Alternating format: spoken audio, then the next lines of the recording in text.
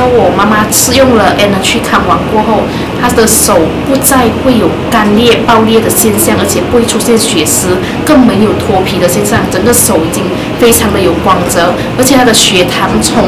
之前去年九月的十六点一跌到今年四月的六点二，已经接几乎接近了正常水平。